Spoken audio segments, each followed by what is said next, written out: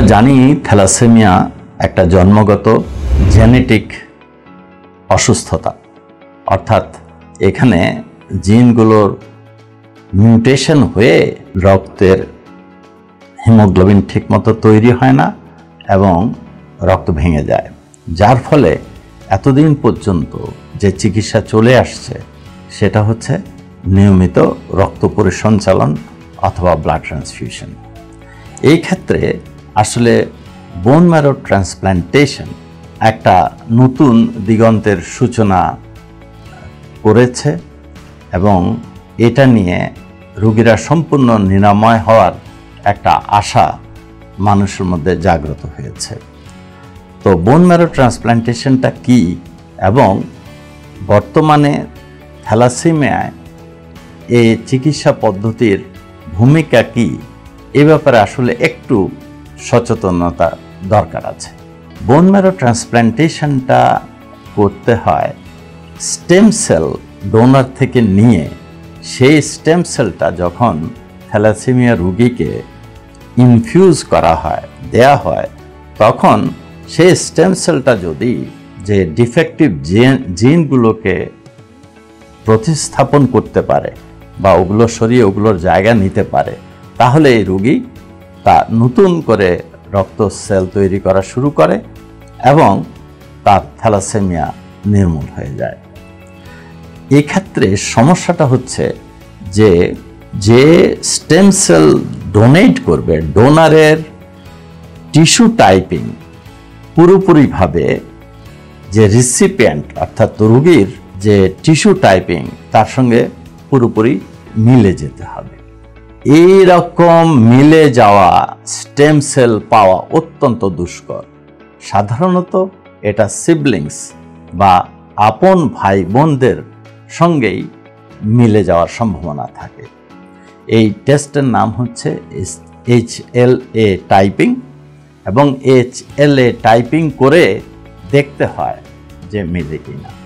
তাহলে একজন রুগীকে তখনই বোন ম্যারো ট্রান্সপ্ল্যান্টেশন করা যায় যখন তার নিজের সুস্থ আপন ভাই বোন থাকে এবং যার সঙ্গে তার টিস্যু হুবহু মিলে যায়। একটা হিসেব অনুযায়ী সাধারণত যদি কারও তিনজন ভাই বোন থাকে, তাহলে একজনের সম্ভাবনা থাকে তার সঙ্গে এ ছেলে পুরোপুরি মিলে যাওয়ার। এবং সে যখন বোন ম্যারো ট্রান্সপ্ল্যান্টেশন চিকিৎসা নেবে, তখন যার সঙ্গে এরকম মিলে গেছে, তার স্টেম সে নিতে পারবে। এটা এক। দ্বিতীয় জিনিস হচ্ছে যে আসলে থ্যালাসেমিয়া রোগীর মধ্যে যেরকম আয়রন জমা থাকে, এ আয়রনটাকে যদি পুরোপুরি নর্মালে নিয়ে না আসা যায়, তাহলে বোন ম্যারো ট্রান্সপ্ল্যান্টেশন সাকসেসফুল হয় না।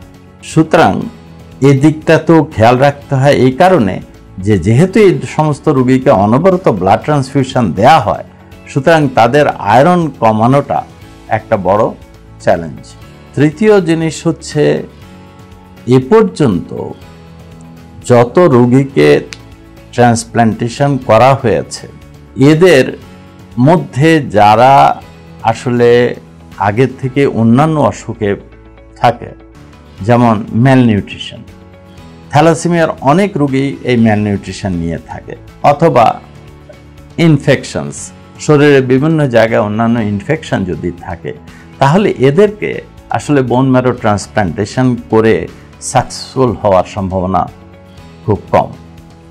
ওভারঅল বিশ্বব্যাপী থ্যালাসেমিয়াতে ট্রান্সপ্ল্যান্টেশনের সাকসেস এত বেশি নাই। যেটা আমরা অন্যান্য ক্ষেত্রে দেখি, যেমন লিউকেমিয়া, অ্যাপ্লাস্টিক এনেমিয়া এ সমস্ত অসুস্থতায়।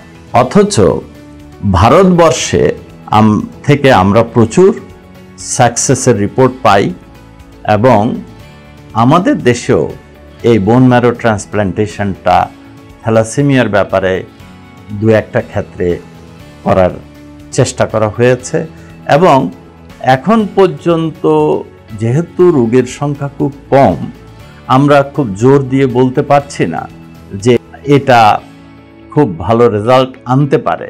কিন্তু যেহেতু বিশ্বব্যাপী থ্যালাসেমিয়াতে বোন ম্যারো ট্রান্সপ্ল্যান্টেশনের সাকসেস রেট এখন পর্যন্ত বেশি পাওয়া যায় না, অথচ ইন্ডিয়াতে আমরা দেখছি যে প্রচুর সাকসেসফুল কেসেস আছে। সুতরাং এটা অবশ্যই আমাদেরকে অপেক্ষা করতে হবে আরও সময়। যে বোঝার জন্য যে আসলেই থ্যালাসেমিয়াতে আমরা বোন ম্যারো ট্রান্সপ্ল্যান্টেশনে ব্যাপারে কতটুকু আগ্রহী হব এবং এই ব্যাপারটা আসলেই আমাদেরকে ভবিষ্যতে সাকসেস এনে দেবে কিনা। ধন্যবাদ।